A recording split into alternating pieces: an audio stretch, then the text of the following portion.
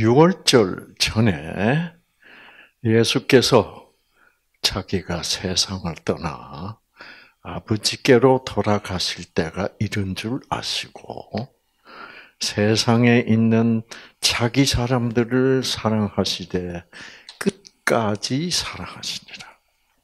음. 여기 이제 요절이라는 것은 어, 제사의 유대인들의 그 당시 제사의 절기란 게 있어요. 어. 어, 그래서 유월절이라는 것은 뭐를 상징한 모든 절기들은 다 상징입니다. 하나님이 어떻게 우리 인간을 구원하실 것이라는 것을 상징하는데 이 유월절은 특히 중요합니다. 그 뭐냐면 아 예수님이 실제로 어, 십자가에서 돌아가시는 것을 피 흘리고 돌아가시는 것을 상징하는 어, 그러한 절기예요. 그래서 이제 그래서 예수님이 실제로 6월절 아래 아, 이제 십자가에 못 박히실 그런 예정입니다, 지금. 그게 이제 내일 모레 얼마 며칠 남지 않았어요. 자, 근데 2절 보세요. 자, 시몬의 아들 가롯 유다. 가롯 유다는 어떻게 한 사람이에요?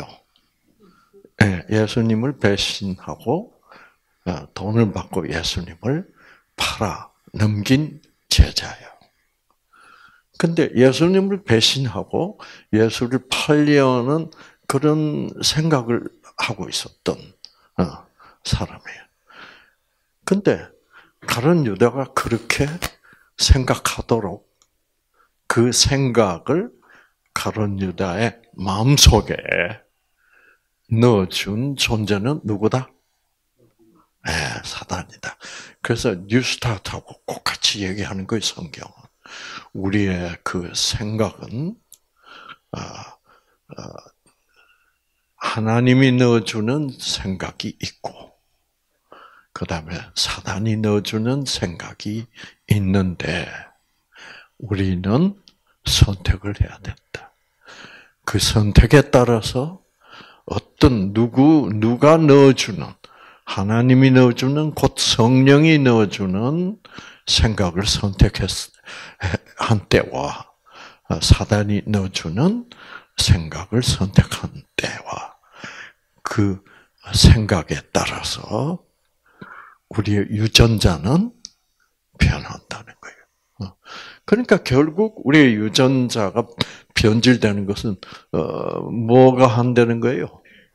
영 영들이 그러니까 그 영이 악령이냐 아니면 성령이냐. 아, 그래서 하나님 쪽의 생각을 받아들이면 그거는 긍정적인 생각을 받아들이는 것이고, 어, 그래서 어, 사랑하면 모든 것이 긍정적으로 생각되더라고요.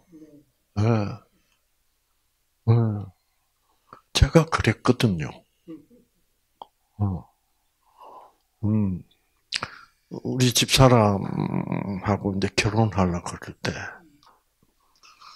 우리 집 사람 쪽에서도 그 나이 차이가 그렇게 나는데, 어떻게 하려고 그러냐. 온 집안이 반대를 했단 말이에요. 음. 근데 우리 집 사람은 나이 많은 것도 왜 어때? 너무 사랑하니까. 그래서 집에서 자꾸 반대를 하니까 우리 집 사람 뭐라 그랬게? 그럼 내 죽어버릴 거야. 오, 여러분. 어, 저는 아주 영광스러운 사람이에요. 어?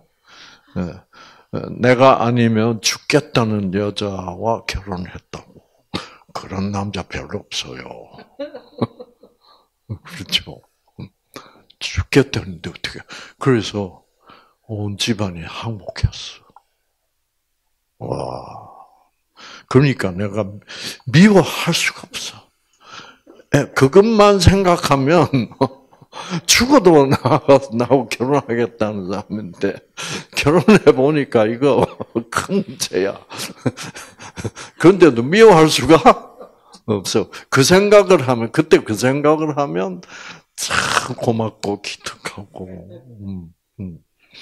그 저도 그랬어요. 음. 아.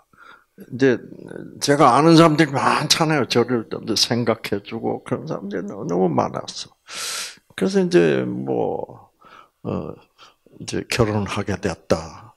그랬더니 결혼하게 되니까 왜 그렇게 소문이 많아요? 네. 네. 뭐 자기 나름대로 이렇게 알아보고, 음. 그래서 뭐뭐 이런 소문 저런 소문 다 물고 와가지고 이제 어, 어, 어, 자기는 반대래.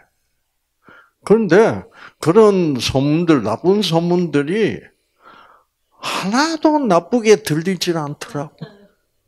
응. 그러니까 역시 사랑을 하면 다 긍정적이 돼.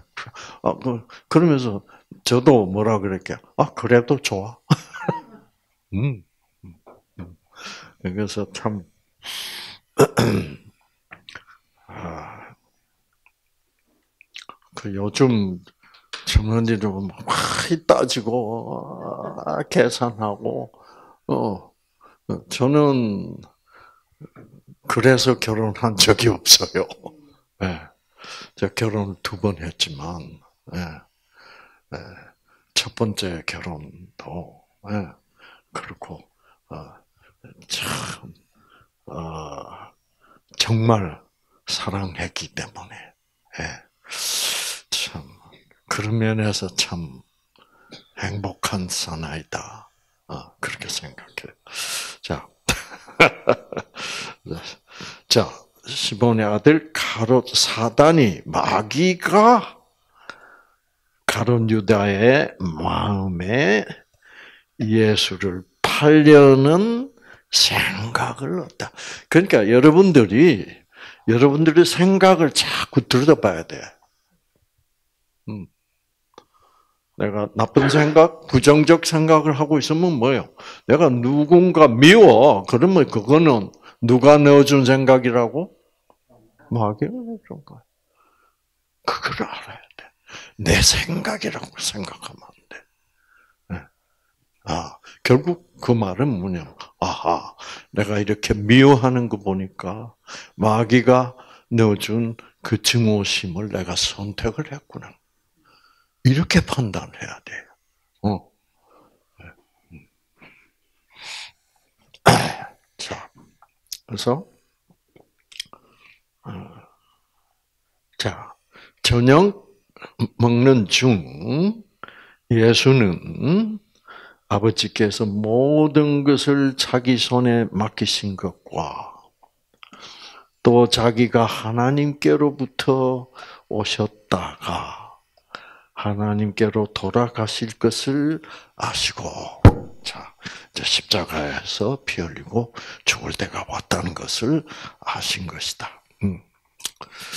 예수께서 저녁 잡수시던 자리에서 일어나 아, 이렇게 예, 잡수시고 계시다가 갑자기 자리에서 일어나 아, 겉옷을 벗고 어, 겉옷을 벗고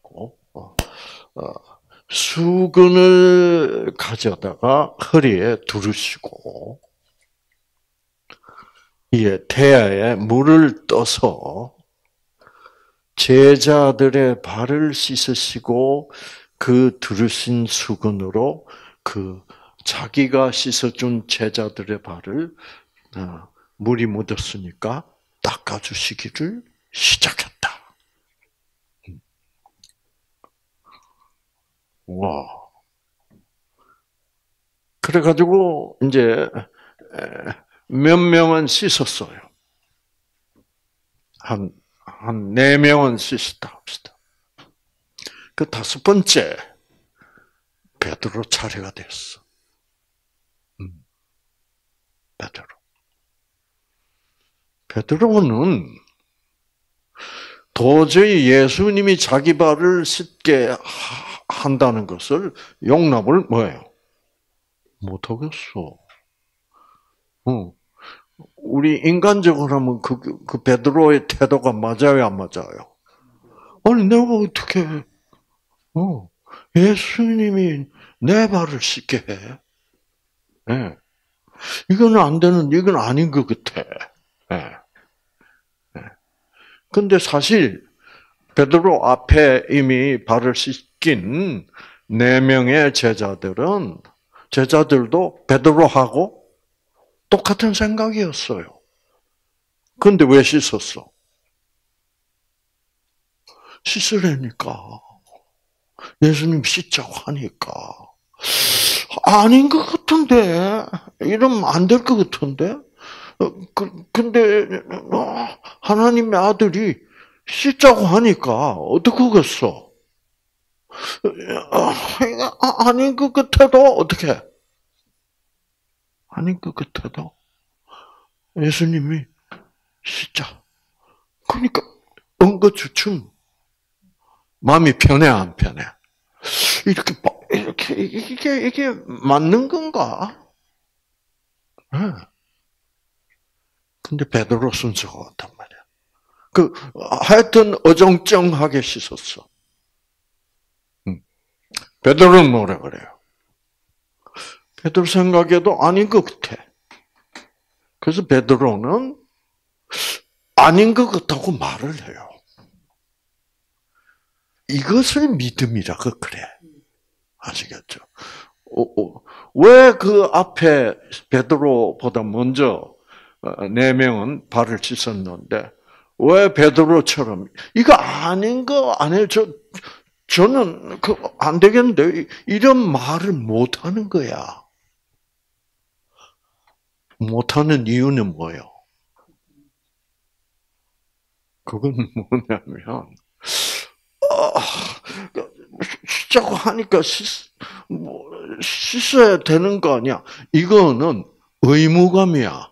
명령에 복종하는 거야. 하나님은 우리 인간이 자기 명령에 복종하는 것을 원하지 않습니다. 아시겠죠? 어. 그게 무슨 말일까? 명령이니까 내가 복종하는 식으로 그런 관계를 맺을 맺기는 하나님 맺기를 원치 원하지 않아요. 어. 그 진리를 알기 때문에. 네. 자 보세요 베드로가 뭐, 뭐라 그러는지 음, 시몬 베드로에게 이르시니 베드로가 이르되 주여 주님. 주님께서, 주님께서 누구 발을? 내 발을. 아니, 주님께서 내 발을 씻기는 게 아, 아니라, 내가 주님의 발을 씻겨야 될 것 같은데요? 이렇게 얘기하는 거예요. 아시겠죠? 베드로는 지금 예수님은 왜 내가 너희들 발을 씻어 주겠다. 고 말씀하시고 또 베드로는 아닌데요.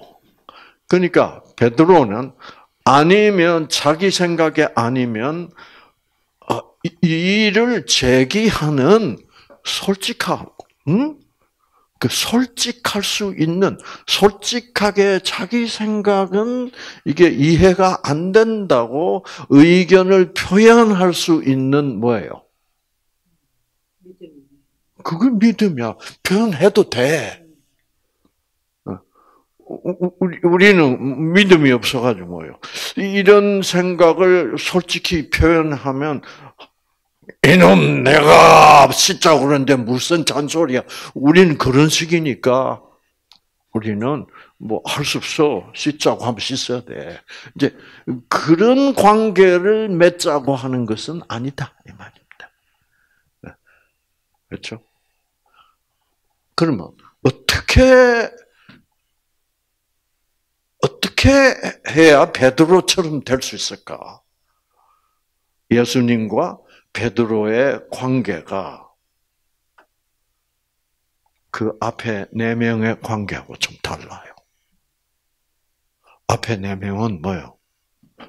아니 하나님의 아들이 하자면 하자는 대로 하면 될 거 아니야. 그거는 믿음이 아니야. 그거는 그냥 그렇게 해야 된다. 라는 어, 관습이고, 어, 그거는 예의고. 하나님과 우리 인간 관계는 그런 관계여서는 안 된다는 거죠. 베드로는 모르면 물어봐도 돼. 어. 그만큼 어떤 관계요? 편안한 관계예요. 물어봐도 기분 나빠하실 분 아니야. 어, 그게 중요한 거야.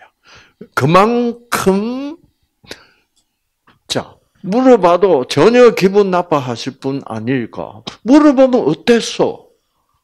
그거는 베드로는 그 다른 제자들보다 뭐를 더 많이 알고 있는 제자야. 사랑이지, 사랑. 아, 나를 그렇게 사랑하는데 내가 뭐 잘못된 질문을 했다고 어? 이 빙신이나 그럴 뿐은 절대로 아니단 말이에요. 어. 내가 물어봐도 돼. 물어봐도 친절하게 자기의 그 어, 어, 어, 어 자기 알고 싶어 하는 것을 설명해 주실 분이라는 것을 믿는 거야. 이것 이런 것을 믿음이라고 하는 거예요. 우리 한국적 믿음은 이게 문제가 있어요. 그런 베드로가 베드로 같이 물어보고 싶으면 언제든지 물어볼 수 있고, 어, 그러면 물어보면 절대로 기분 나빠하시지 않고 뭐 건방지다고 생각하지도 않았을 거고 차근차근 어떻게 설명을 해주고 그래서 자기를 이해시켜 주실 분. 그만큼 예수는 자기를 뭐요? 사랑한다고 사랑한다고 믿는 믿음 믿음을 가지고 근데 이미 말도 못하고 발 씻어버린 이, 이, 이, 이 제자들은 미려, 물어볼 수 있는 뭐예요? 속으로 이게, 이게 아닌 것 같은데다라고 하면서도 자기들의 속마음을 나타내 보여준다거나, 물어본다거나 하면 또 금방지다 그러고, 하나님은 어떻게든 자기를 물어봐도 뭐 어, 절대 기분 나빠하지 않고 차근차근 설명해 주실 만큼 나를 사랑한다고 믿지를 못하는 거야. 그래서 믿음의 대상은 사랑입니다. 그런데 음. 우리들의 믿음의 대상은 뭐예요? 우린 뭐를 믿음이라 그래? 열심히 뭐요? 하락하면 하락하는 대로 뭐요? 예, 해야 되는 게 그런 거를 충성이라 그래. 열심히 충성 이꼬르 믿음이야. 아니야. 아시겠죠? 사랑을 믿어. 그래서 내 생각하고 좀 다르다. 그러면 물어볼 수 있는 그런 믿음. 네. 믿음 물어볼 수도 있고, 어, 어, 예, 예수님은 절대 기분 나빠하시지 않을 거야. 라는 믿음. 음. 주께서, 아니, 예수님 께서, 주께서 내 발을 씻어, 씻는다니요. 이 말이야. 나는 그럴 수가 없습니다. 내, 내, 내 주자, 내 생각에는. 그런 뜻을 품고 있어요. 그랬더니 예수님이 이제 대답을 합니다. 시끄러! 씻으려면 씻는 거지 뭘 말이 많아! 이런 분은 아니다, 이 말이에요. 어. 예수께서 대답하여 이르시되, 어, 네가 볼 때 좀 이상하지? 어, 이게 이치 안 맞는 거 같지? 어, 그러니까 네가 내가 지금 네 발을 씻어 준다는 것을 네가 지금은 뭐예요? 이해하지 못할 것이다. 어, 이해하지 못. 어. 아직은 네가 이해하지 못하지만 나는 네 발을 씻어 주고 싶다. 어. 그래서 예수님이 어, 너 아직은 아직은 어, 내가 왜 이러는지 어, 네가 모르지. 그런데 조금 기다려. 그러면 이해할 수 있게 돼. 그러니까 씻자. 예수님 이렇게 나오는 거예요. 그러니까 베드로가 어떻게 했어요? 예, 베드로는 참 솔직합니다. 베드로는 예, 베드로가 이러대. 뭐라고요? 내 발은 내 발은 절대로 안 됩니다. 이 말은 뭐예요? 아니, 내, 내가 지금 왜 이러신지 모르겠는데, 뭐 나중에 나중 되면 이해할 수 있다고요?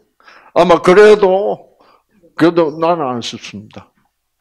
이 쪼다들은 씻었지만 네. 자기 의견이 확실해요. 네. 그러니까 그렇게 자기 의견을 하나님 앞에서 주장할 수 있는 뭐예요?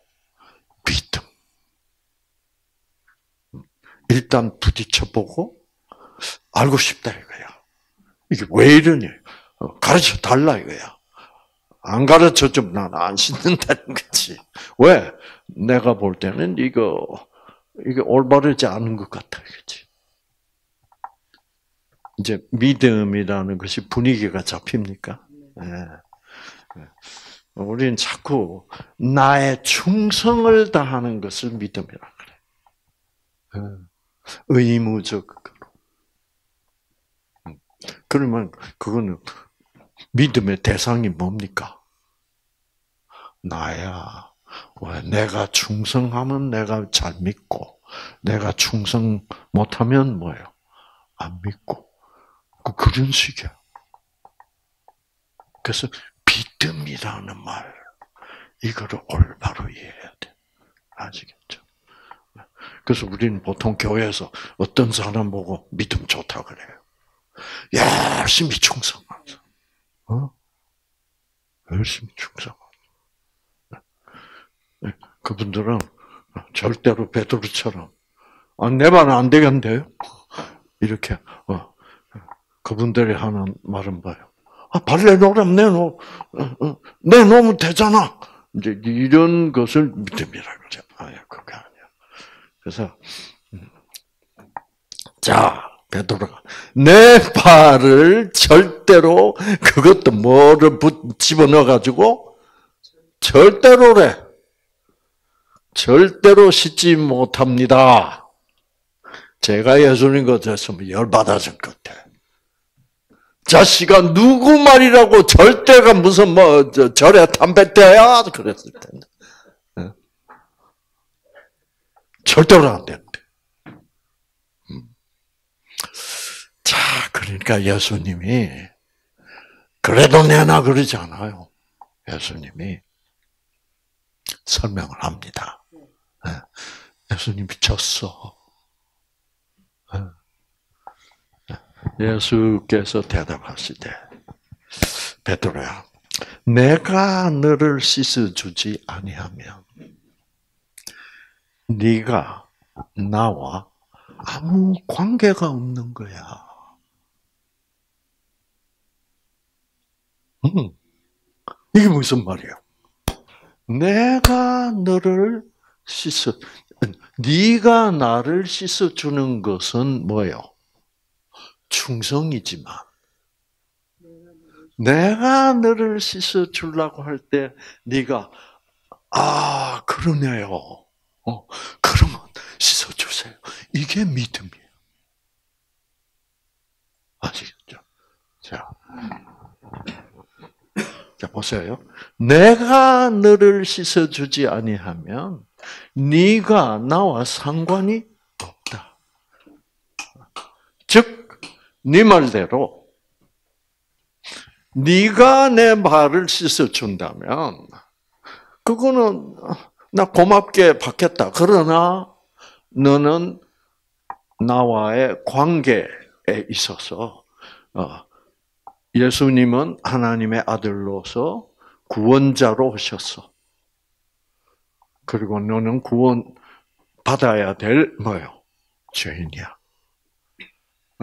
어, 그런 관계가 아니다 이 말이야. 너는 그저 나를 인간적인 스승으로서 나한테 잘해주는 그런 예의를 차리는 관계에 불과하지. 나는 예의 같은 것보다 중요한 것은 뭐예요? 너를 구원하는 것이다. 음. 그러면 여러분, 자 발을 씻어 준다는 말은 그게 이제 어떤 의미를 포함하고 있느냐? 자, 이거 이제 보세요. 그래서 어, 내가 너를 씻어 주지 아니하면 네가 나와 상관이 없다.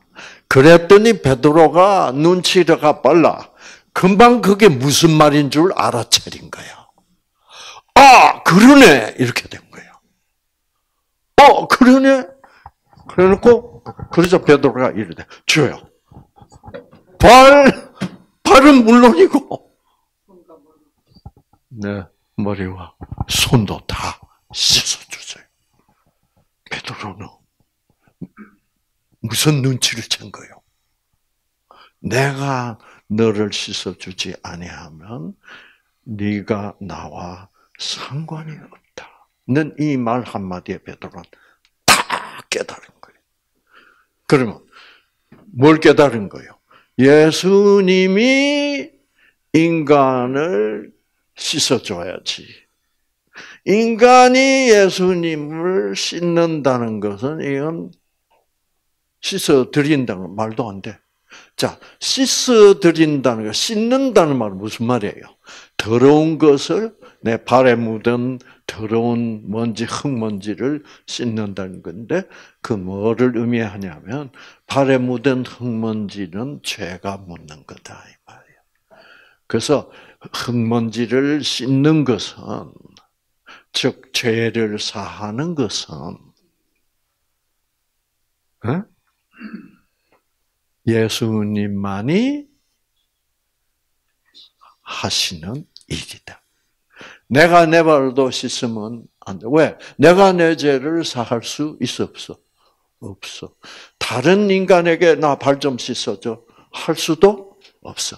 죄를 사하실 수 있는 분은 누구밖에 없다. 하나님의 아들 예수밖에는 없다. 그래서 만약 베드로가 아 내가 예수님 발을 씻어 드려야지 어떻게 제 예수님이 제 발을 씻습니까? 이렇게 되면 어? 이게 이게 거꾸로 해야 되는 그렇죠. 관계가 이게 그, 그 뭐라 그래요? 주객 전도가 되는 거예요. 죄를 사하는 사할 수 있는 존재는 예수님밖에는 없기 때문에 예수님이 내가 지금 곧 십자가에 달려서 내 모래에서 이제 너를 위하여 내 피를 흘리고 그 피로 너의 죄를 어떻게 다 사할 것이다. 라는 것을 상징적으로 표현하는 지금 6월절 어, 유월절 이제 식사를 하고 있던 거죠. 예. 그래서 예수님이 그렇게 말을 하자마자 베드로는 뭐예요? 와, 맞다. 이걸 내가 미쳐 깨닫지를 못했구나. 그러니까 뭐라고? 발은 물론이고 머리와 손도 씻어달라고. 내 발뿐만 아니라 손과 머리도 씻어 주옵소서. 손과 머리는 왜 흙도 안 묻었는데 네, 그래요. 네, 손은 행동을 뜻합니다. 손. 그러니까 왜 손으로 내가 모든 행동을 하잖아요. 어. 그다음 머리는 생각. 예수님, 내 발만 죄가 있는 것이 아니라 뭐 네, 여기도 죄된 생각을 맨날 하고 있고 내 행동도 이게 들때 먹었습니다. 그것도 다 씻어 주십시오. 음. 그러니까 예수님이 뭐라 그러시게? 예수께서 이르시되 이미 목욕한 자는 발밖에 씻을 필요가 없다. 온 몸이 깨끗하니라. 음. 이 무슨 말이에요? 자, 발은 아무리 씻어도 씻어도 맨날 흙이 묻어요. 특히 그 당시에는 뭐 요즘처럼 이런 좋은 신발도 없고, 예, 예 샌달 그렇죠. 그것도 뭐, 어, 뭐 천으로 뭐 이렇게 만든. 그러니까 뭐 맨날 그러니까 그때는 왜 그때는 아스팔트도 없고 나갔다 왔다 그러면 반드시 바를 수 있어야 돼. 그럼 그 이제 종들이 와서 주인님 도착하시면 어, 세수대하고 어, 수건 가져와서 주인님 발 씻어 주고 그 주인님 그, 그, 그 그거요. 그건 종이 하는 거예요. 예수님은 죄라는 먼지, 흙먼지를 씻겨 주시는 무엇이다? 종이야.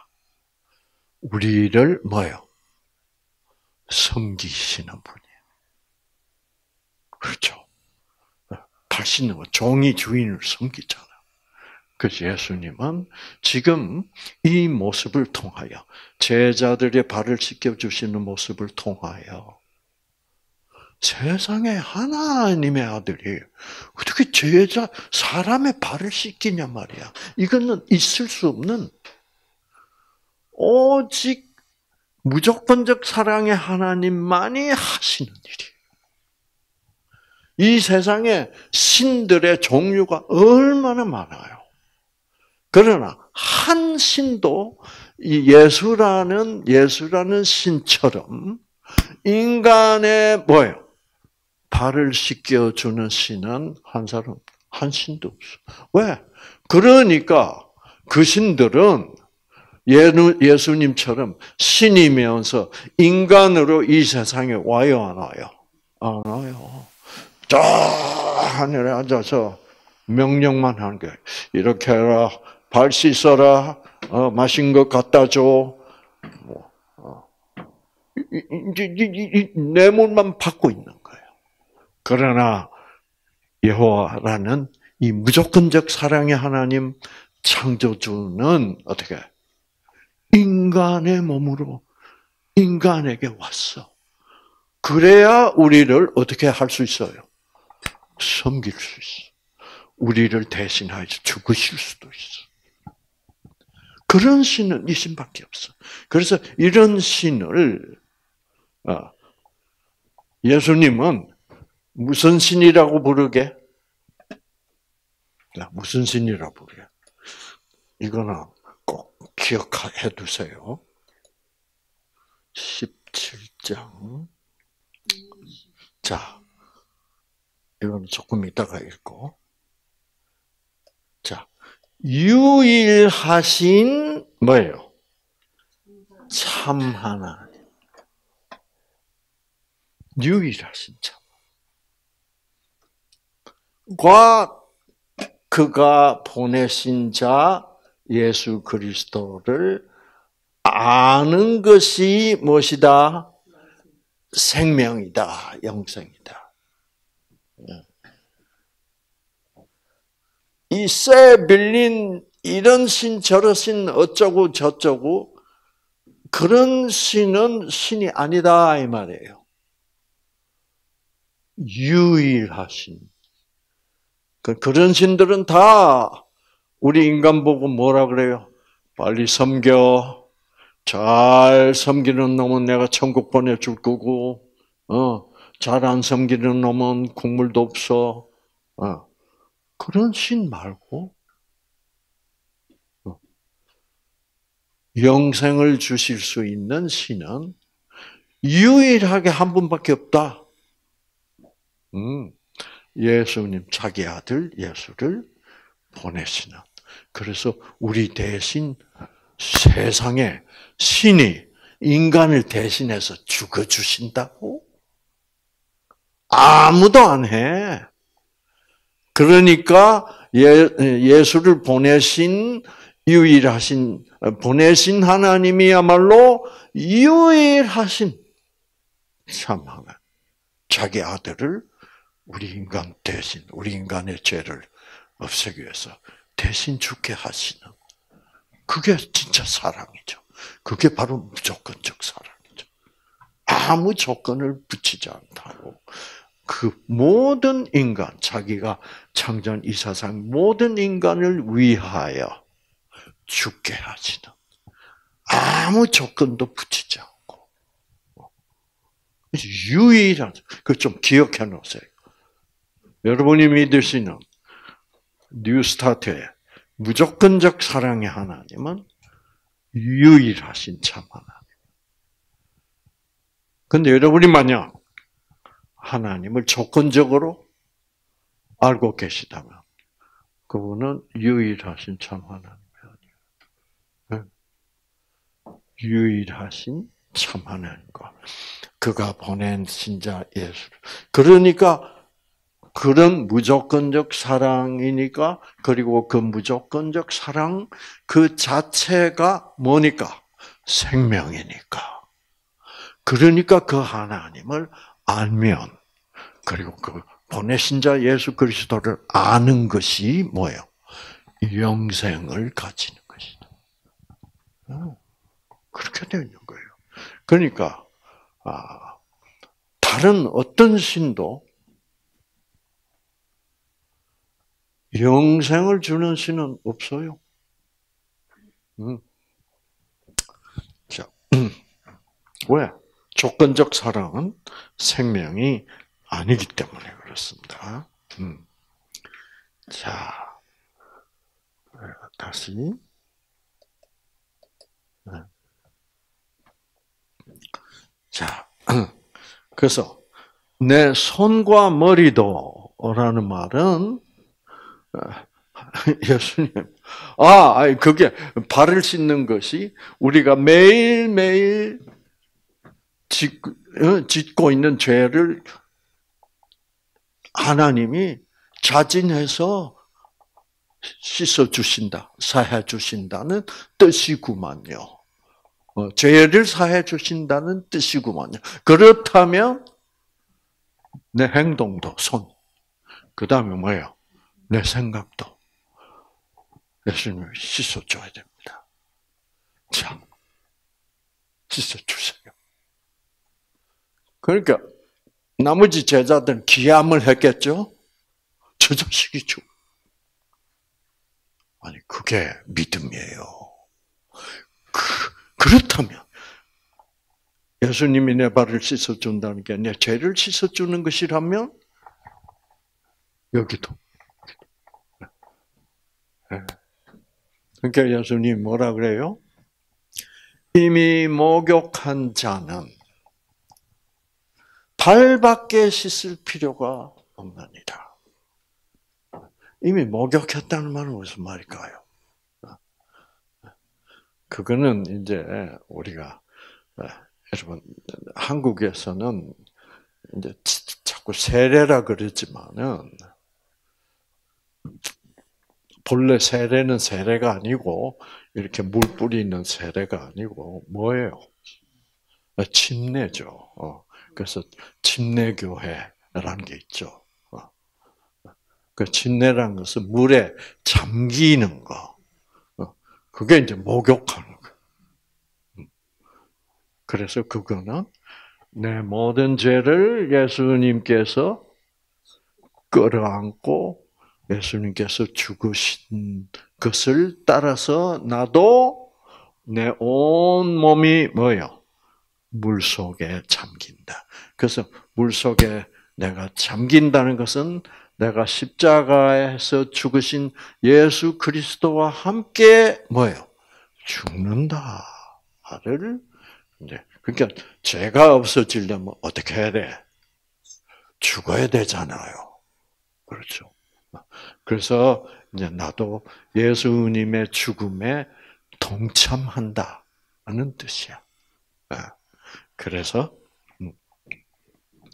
그 죽고 그 다음에 물 속에 푹 들어갔다가 어떻게 해요? 여러분 침례 받아봤어요? 어. 어. 저는 침례 받아봤어요. 안식교에서는 침례를 해요. 어. 침례교에서도 침례를 하고. 그게 그게 멋있어요. 다 해서 아, 죽었다. 그리고 또 물 밖으로 어떻게 쫙 이제 나와. 그게 뭐예요? 부활했다. 라는 상징이에요. 그래서 나는 이 예수 그리스도 십자가에서 흘리신 보혈의 은혜를 받아들이고, 그리고 옛날 나는 뭐예요? 예수를 몰랐던 옛날 나는 죽었다. 예수와 함께. 그리고 어떻게? 예수님이 부활하신 것처럼 나도 부활하게 되어 있다. 참 아름답잖아요. 그래서 물만 뿌리는 건 이거는 부족한 거예요. 어, 어, 물만 뿌리는 거는. 예. 그래서 뭐 그건 그건 다 예식의 예식의 예식이니까 막 그렇게 간소화 뭐 한다고 해서 뭐 큰일 날 거는 없다고 봅니다. 음. 자, 근데 근데 예수님 믿는 거는 침례를 그것도 일종의 경험이에요. 어. 그래서 그래서 쫙 올라오면 와 내가 죽었다가 뭐예요? 이렇게 부활할 것이다. 라는 것이 이렇게 느껴지는 어, 꽤 괜찮은 예식이에요. 근데 물만 뿌리고 나 말면 좀 그렇잖아요. 뭐, 뭐 좀 빠진 것 같죠. 그렇죠. 그, 맞아요.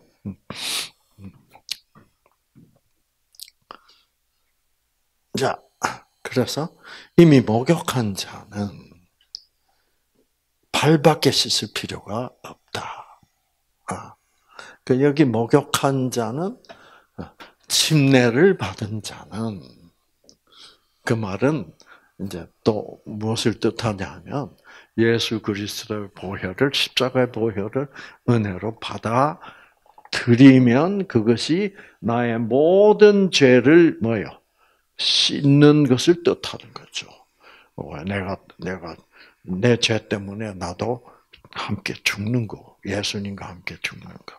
그래서 그러니까 우리의 유전자에는 아직도 죄가 있지만 내가 예수님의 그 십자가의 보혈을 그 은혜를 받아들임으로 말미암아 그 믿음으로 말미암아 나는 죄가 없는 사람으로 어떻게 여겨 주신다 이 말이에요. 간주해 주신다는 거지. 예.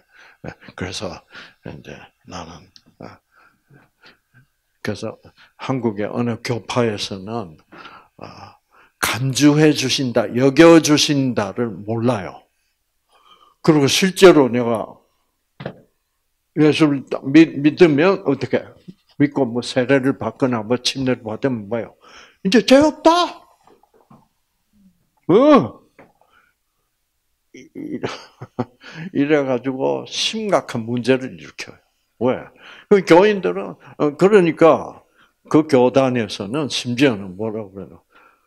그러니까 회개도 안 해도 돼. 뭐, 저, 끝이야. 죄 없어, 이제. 그러니까 성경을 깊이 모르면 그 간주해 주신다를 몰라. 여겨 주신다. 그렇죠? 어, 내가 의롭다고, 죄 없다고, 거룩하다고 하나님은 여겨 여겨주시는 거예요. 음. 자,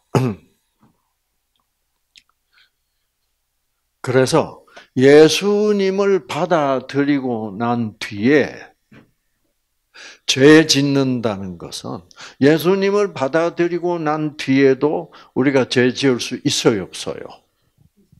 있어요. 네. 부부 싸움 해도 죄 짓는 거지, 그렇죠? 마누라 꼴도 보기 싫으면 죄 짓는 거지. 네. 네.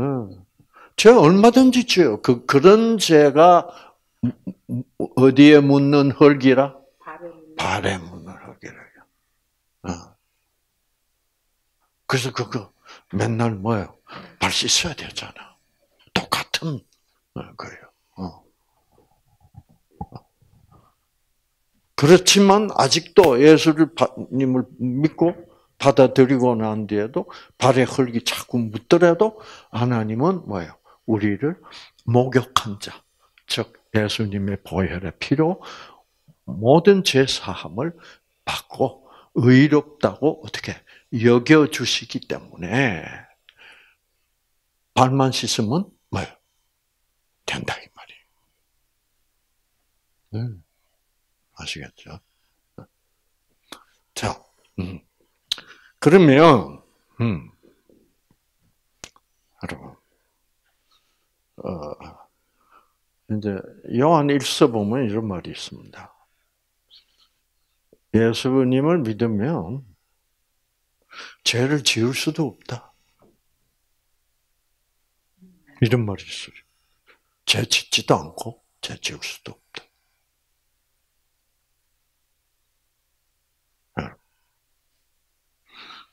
그 말이 안 되잖아요. 그렇죠?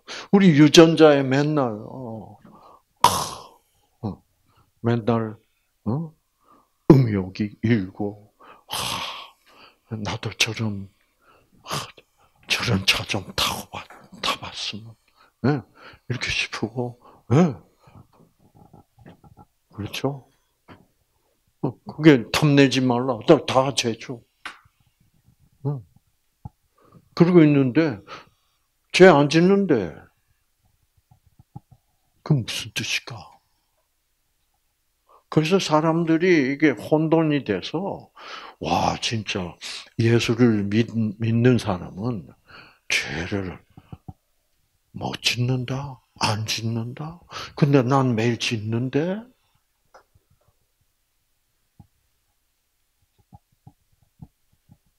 그럼 나는 이게 믿, 예수를 믿는 것도 아닌가? 해가지고 참 고민하는 사람들이 많습니다. 그런 고민하는 사람들은 진짜 잘 믿어 보려고 뭐예요? 열심히 노력하는 사람들이에요. 어. 저도 그랬어. 음. 이걸 깨달아야 돼. 아시겠죠? 예수를 믿어도 죄를 맨날 발에 흙이 자꾸 묻는다. 이거를 고백한 예수님의 사도가 누구게? 사도 바울이요. 사도 바울은 로마서 7장에 그렇죠? 와, 내, 내 마음으로는 죄를 지기 싫은데,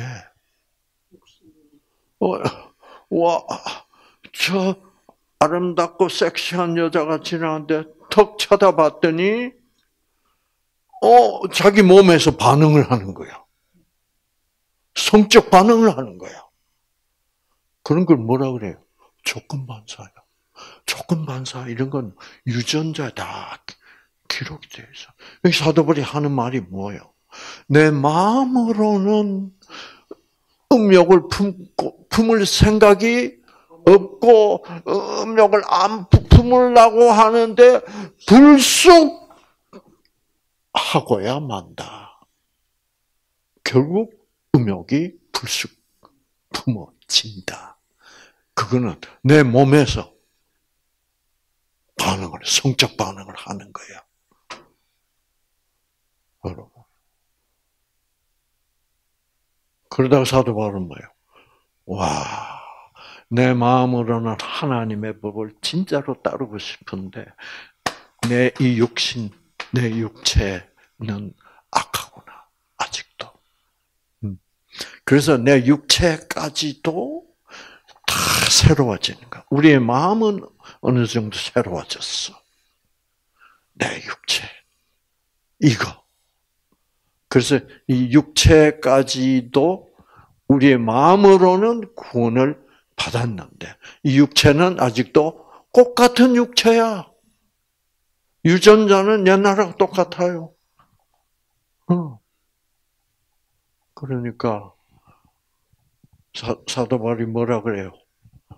오라 나는 곤고한 자로다. 이야 힘들구나.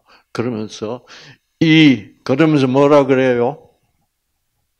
이 사망의 몸, 사망의 몸, 이 죽을 몸에서 내 이 몸은 앞으로 계속 영생할 몸이요, 죽을 몸이요. 이건 죽을 몸이에요. 영생할 몸 아니야. 그걸 알아야 돼. 아차 잘못하면 우리가 흙으로 만든 이 몸하고 똑같은 지 같은 몸으로 부활하는 줄로 알고 있는 사람들 많아요. 아니야. 이거 가지고 천국 가면 우리는 천국 가서도 뭐예요? 고민해야 돼. 아시겠죠? 그런데 이 몸도 영적인 몸으로 새로운 피조물로 천사와 동등한 차원의 몸으로 새롭게 변한다. 그래서 사도 바울은 이 몸도 어떻게 변하여? 호련히 변하여. 말하게 됐다. 그렇게 되는 그러면 제 그래서 나는 제 몸 이 유전자를 가지고 제 앉을 수가 없는 거야. 어, 그런데 왜 죄를 안 짓는다, 안 질 수 있다고 그래요? 우리가 예수님을 믿고 나면 죄는 뭐예요? 행동을 죄라고 하지 마라. 이제 예. 그래서 죄라는 것에 예, 죄가 뭐냐고 하는 것에 죄의 정의가 달라져야 됩니다. 네. 옛날에 죄의 정의는 뭐예요? 내가 율법 탐내지 말라 그런데 내가 탐을 내버렸어. 그럼 그게 죄야. 근데 그거는 우리 탐내는 것은 좋은 거 탐내는 것은 우리의 뭐예요? 본성이야. 그 본성이 죄인데 내가 어떻게? 그러니까 이 본성이 죄기 때문에 그 죄로부터 완전히 해방되려면 어떻게 돼야 돼? 죽어야 돼. 그래서 내가 죽거나 그렇지 않으면 예수님이 나를 대신하여 죽어 주시거나 그렇게 되는 거예요. 자, 그러면 우리 본성은 아직도 그대로 유전자에 남아 있고, 우린 자꾸 죄를 지어 실제로 탐을 자꾸 내고. 어. 어. 그럼 죄 안 진단 말은 무슨 말인가? 이거 아주 중요한 얘기입니다. 음. 예수님이 그거 잘 아실까 모르실까? 우리의 본성이 죄고, 어, 우리가 예수님을 받아들여도 또 성령을 우리 마음에 받아들여도 여전히 이 유전자는 뭐요? 꿈틀거려. 음. 그러면 그 문제를 해결해야 될 거 아니야. 그러니까 우리는 유전자가 꿈틀거리는, 응? 어? 이제 그러니까 남성들은 내 남성 성기에 뭐예요? 성기가 갑자기 활동 막 반응이 온다고. 특히 그 어? 20대 30대에서는 뭐예요? 뭐 즉각적으로 반응이 온다고. 어. 그렇죠? 그러면 안 그런 척. 하나님 나, 나 음력 안 품었습니다. 이러고 죄 앉은 척 하지 말라 이 말이에요. 그럼 어떻게 해? 응. 그러니까 막 그러니까 남자들이 뭐예요? 포르노를 보고 있잖아. 그거 보면 말이야, 막, 막, 막, 이 막, 이 성적 반응이 막, 막 어마어마하다고. 어. 그러면 결국 그걸 해소하기 위하여 뭐예요? 자위행위를 하고. 그 뭐, 그 뭐, 뭐, 얼마든지 그러고 있죠, 사람들이. 예. 예. 그러면서 어떻게 느껴? 아, 이래가지고 내가 천국 가겠나? 음. 그러니까 이 문제를 해결하지 못하면 안 돼.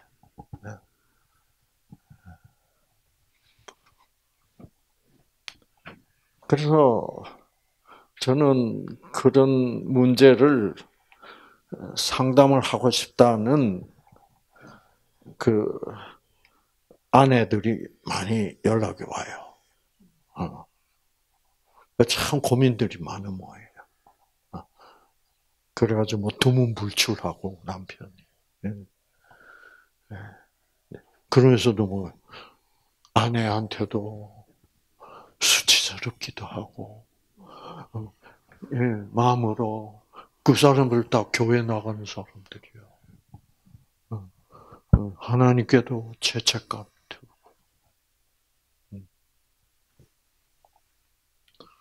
그래서 그건 본능이야. 남성의 본능이야. 밥 안 먹으면 뭐예요? 배고픈 거하고 다 같은 거예요. 그러니까 우리는 죄 덩어리라니까. 어. 그러니까 이 몸이 안 살아있는 한 죄는 살아있는 거야 내 안에서. 그러니까 내가 죽어야 되는 거예요. 누군가 예수님이 죽든지 내가 죽든지. 죽어버려야 내가 죄로부터 어떻게 해방되는 거야. 그걸 성경에서 내가 죄의 지배를 벗어난다는 그 표현해서. 어. 그 영어로 하면 under the dominion of sin 그래요. dominion이란 말은 지배. 어. 죄의 지배를 받고 살고 그러니까 그러면서 죄의 지배로부터 탈출할 수도 없어. 그런 상황을 뭐예요? 죄의 노예라고 그러는 거예요. 그 상황에서 그래, 네가 죽어야 죄가 없어지지. 그럼 내가 너 대신 네 죽음을 죽어 줄게. 그래서 예수님이 죽는 거예요. 그러니까 죽어야만 누구 누 내가 죽든 예수님이 대신 죽어 죽든 죽어야만 죄란 건 없어진다고. 그래서 예수님은 죽는, 죽은 거예요. 전 옛날부터 이 문제가 안 풀렸어. 왜? 아니, 왜 죽어야 죄를, 죄가 용서가 되냐 말이야. 하나님이면 뭐라 그러면 돼? 나는 이상구의 죄를 용서한다. 그래 버리면 되잖아. 그 하나님의 권위로. 근데 아니야, 죄라는 것은 그래가지고는 절대로 없어져. 죽어야 돼. 내가 죽든, 하나님의 아들이 대신 죽어주든, 둘 중에 하나, 어쨌든 죽어야 돼. 그리고 나도, 어, 그리고 나도, 그래야만, 하나님의 아들 대신 죽어줘야만, 하나님이 내가, 예수님 다시 오실 때, 나를 어떻게 부활시켜서 천사와 같은 영적 몸으로 새로운 피조물로 만들어 줄 수 있는 권리가 생겨. 왜? 그래서 성경에서는 값을 지불했다는 거죠. 값으로 우리를 샀어. 음. 그러니까 어, 예수님이라는 새로운 주인이 생긴 거예요. 우리는 죄의 노예인데 죄가 우리의 주인이었다고. 아시겠죠? 그래서 근데 예수님이 자기 목숨, 하나님이 자기 아들의 목숨을 그 값을 치르고 어떻게 우리를 산 거야. 그래서 우리는 지금 현재 의의 노예라고 어, 노예예요. 하나님의 노예라고 지금. 근데 하나님은 예, 죄라는 주인처럼 나를 뒤집다 부려먹지는 않고 하나님은 사랑으로 지금 자유를 주고 있는 거야. 아시겠죠? 네. 자, 그래서 예수님은 그걸 아시는 예수님이니까 예수님이 지금부터 내가 죄를 너희들이 생각하고 있는 죄는 너희들의 본성이 죄인이니까 뭐예요? 그거는 어, 예수님이 다시 오실 때까지 또 우리가 새로운 피조물로 다시 재창조될 때까지는 바뀔 수가 없다. 어, 없다. 그러니까 내가 죄를 너희들 믿는 사람들을 위하여 죄를 다시 정의하겠다. 자, 그래서 예수님이 내 죄를 다 가져가서 내 대신 죽어 줬는데 그렇다면 내가 가지고 내 죄의 본성 때문에 짓는 그런 행위를 가지고 이제는 죄라고 할 수가 없잖아요. 예수님이 다 해결했는데 내가 뭐 하는 한 내가 내가 예수님이 그렇게 해 주신 것을 해 주셨다고 뭐요? 믿는 한 내 마음 속에서 또 이렇게 내가 원치 않는 음욕이 꿈틀거리고 어, 그거는 해결했다 이거지. 그러면 뭐가 죄냐? 그러면 뭐가 죄? 그러니까 믿음으로 죄는 뭐요? 해결했다. 그러면 뭐가 죄? 그렇지. 믿지 않는다면 그 죄가 그대로 내 죄는 그대로 있는 거예요. 내가 예수님이 다 가져가셨다고 믿는 한 네가 그런 네 유전자에 박혀 있는 어, 육체적 본성이 또다 반응을 한다고 해서 나는 또 죄짓는다고 하지는 않을 것이다. 네가 내가 너 죄를 다 해결했다는 것을 믿어주는 한 나는 그거를 죄라고 지적하지 않고 그러나 않는다. 그러나 네가 만약 예수님이 내 죄를 다 사기 위해서 대신 죽었다고? 못 믿겠는데 그러면 뭐요? 그러면 그 죄는 그 죄 그대로 있는 거예요. 그게 제일. 어? 그래서 여러분 이게 이게 꼭 이거 하나 기억하세요. 음.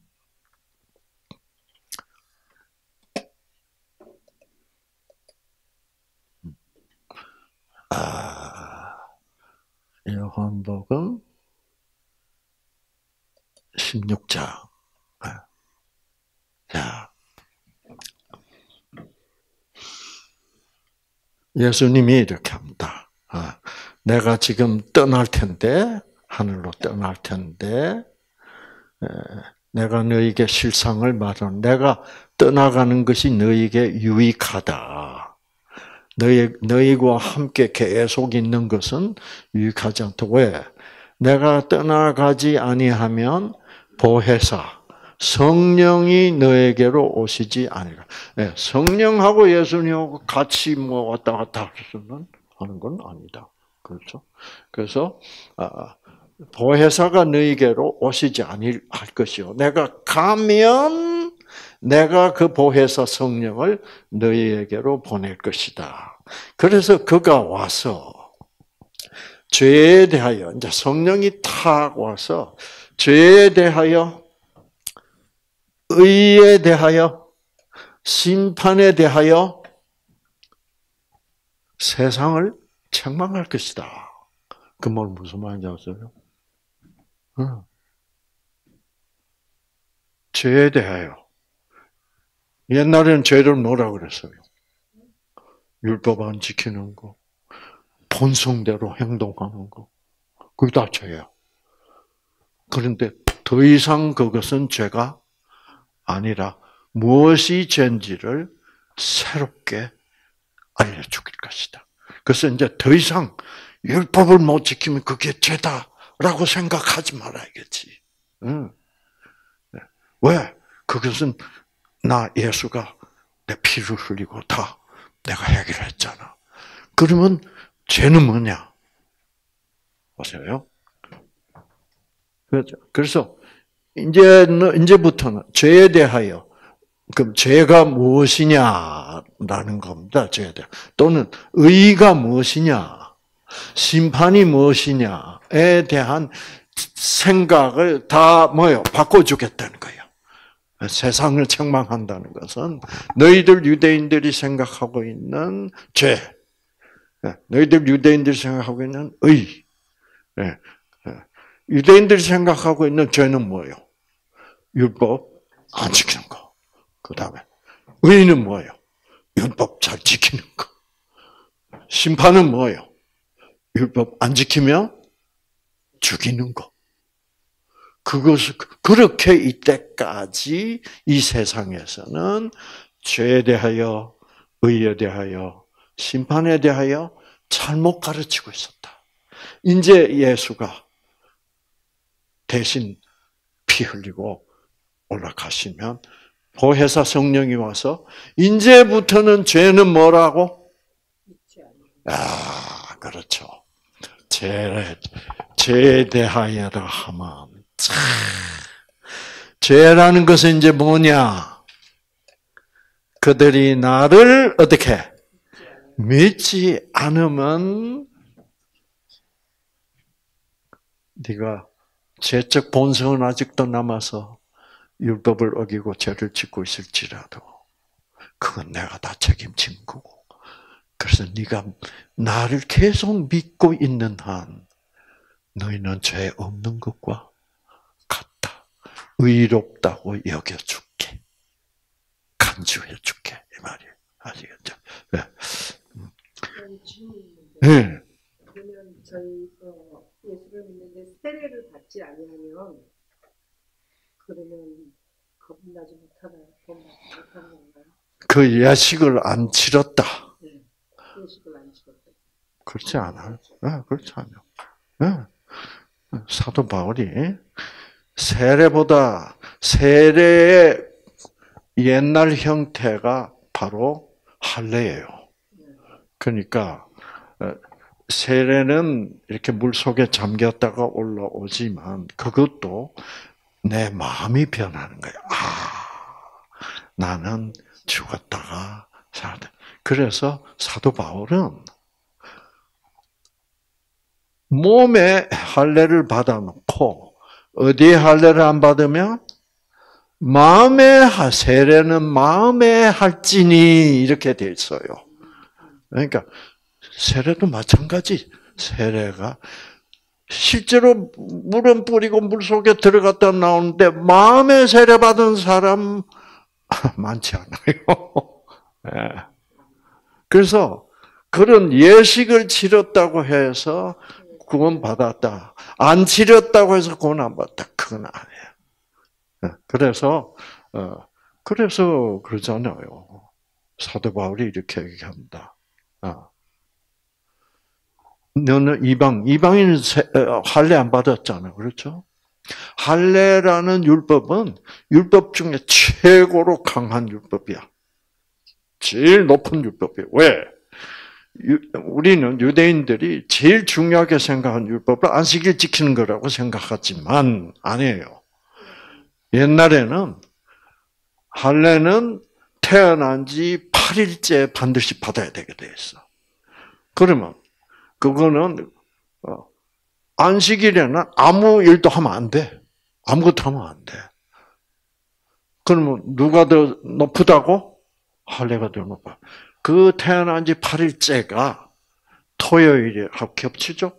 그러면 할례가 우선이에요. 일해야 돼. 할례 줘야 돼. 네. 그래서 이방인들이 할례 안 받았잖아요. 어. 할례 안 받았어. 유대인들이 가장 중요하게 생각하는 할례를 안 받은 거야. 어. 그래서 유대인들은 할례 안 받으면 그 그놈은 하나님께 속하지 않았어.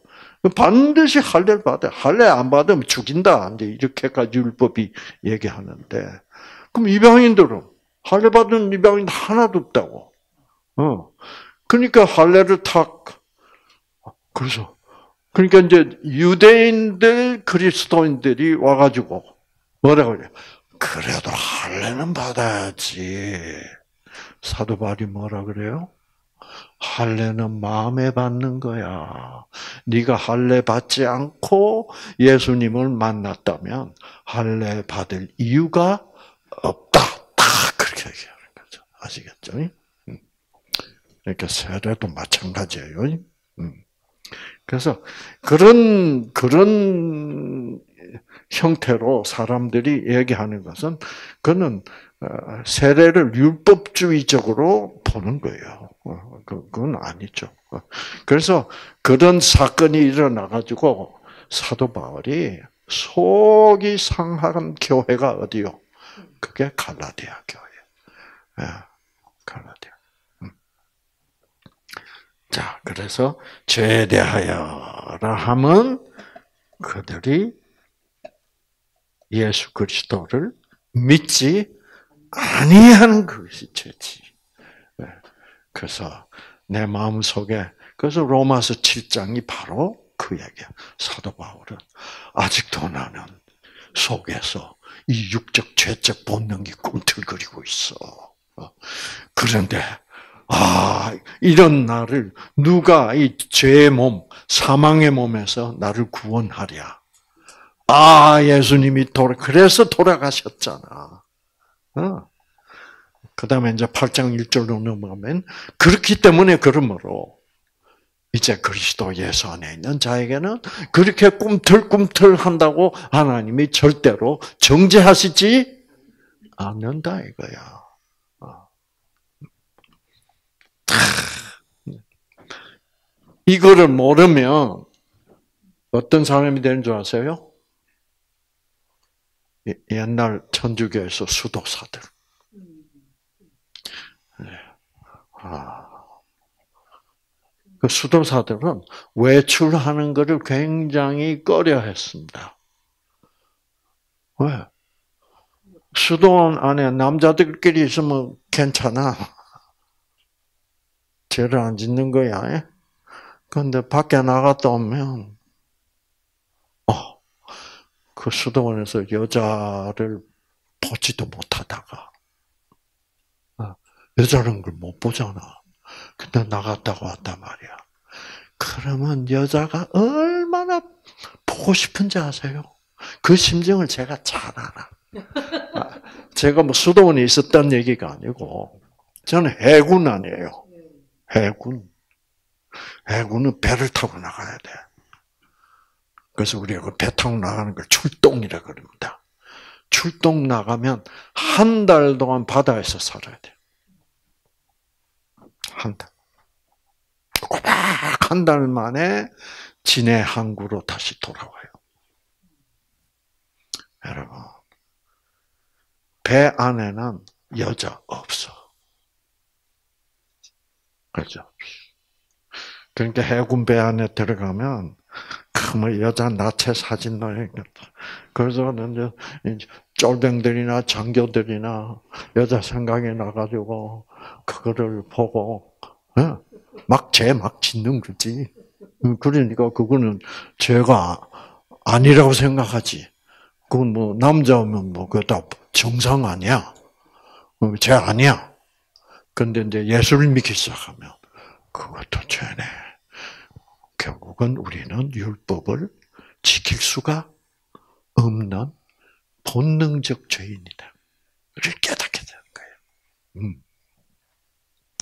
근데 한 달 만에 딱 한국으로 들어오면 막 여자가 그리워서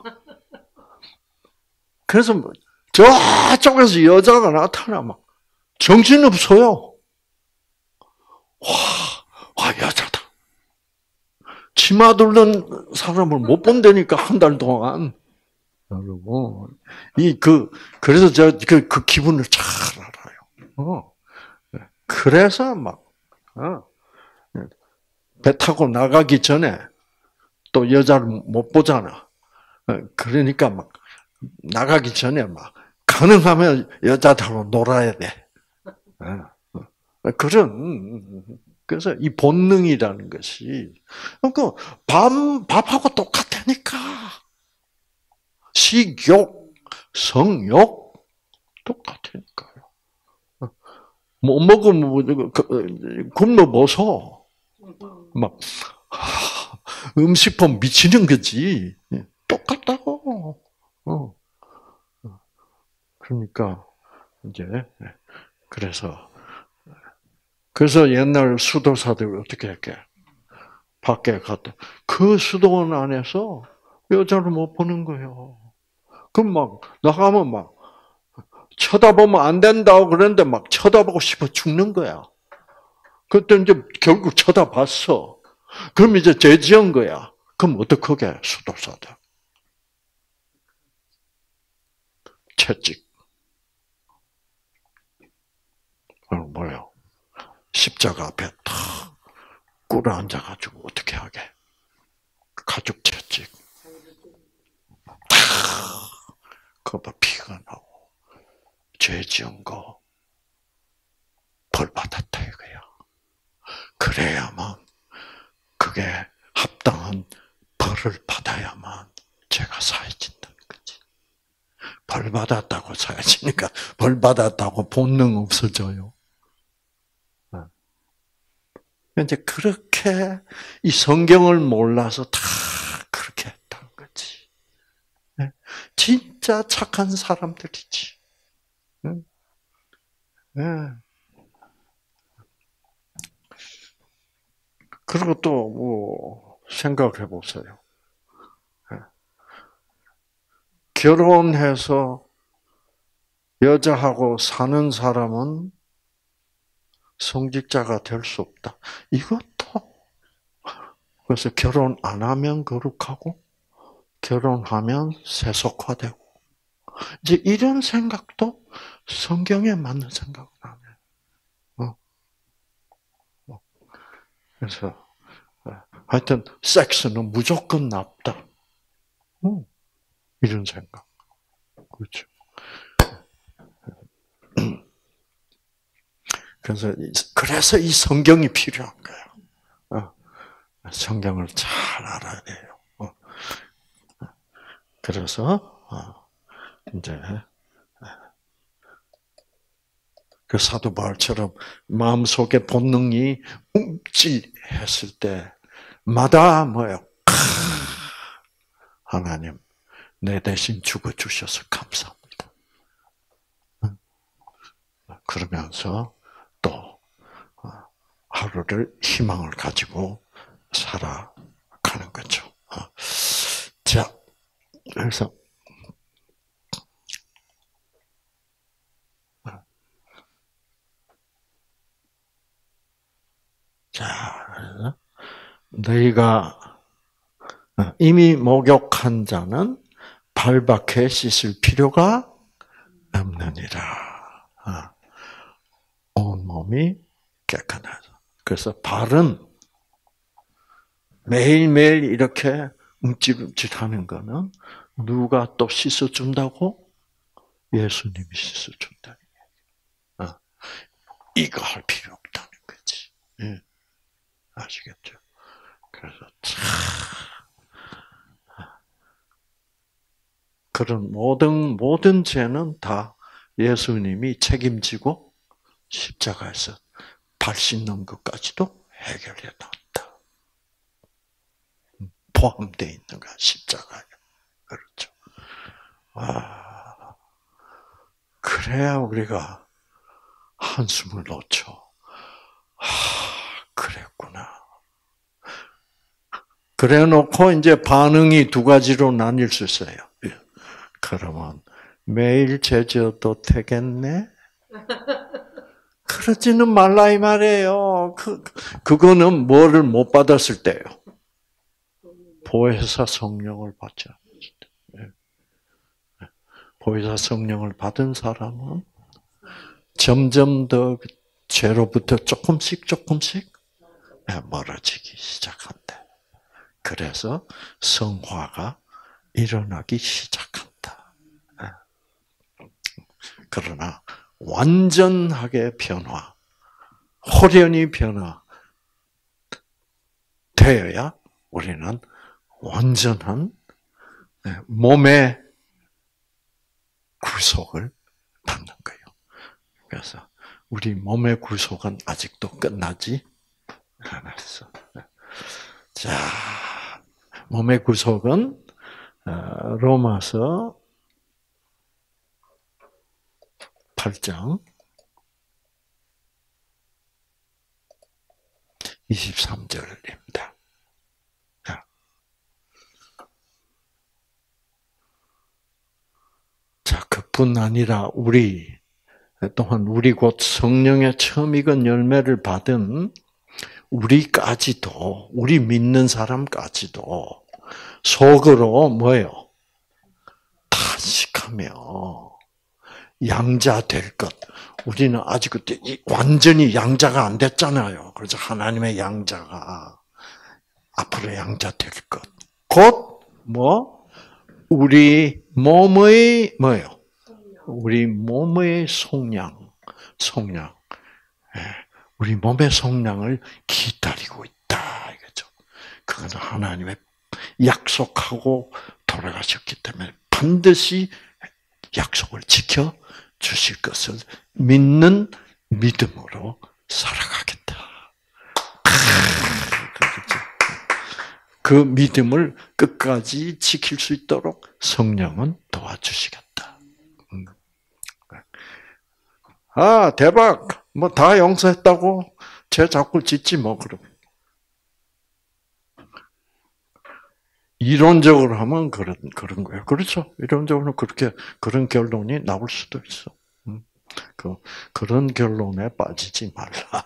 그것이 바로 사단의 함정이야. 어. 그래서 자, 자 이제 오늘 어, 하나님은 어, 우리를 발까지 씻어 주실 만큼 우리를 뭐요?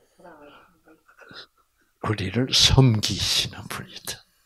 우리에게 섬김을 받으러 오신 것이 아니라 이렇게 발까지도 씻어 주시는 그 섬김을 우리에게 우리를 섬기시려고 오신 것이지 섬김을 받으시려고 오신 것이 아니다.